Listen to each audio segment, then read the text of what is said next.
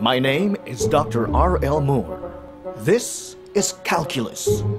Fear no more. And make no mistake. Let the Moore method literally change your brain to make you better in math.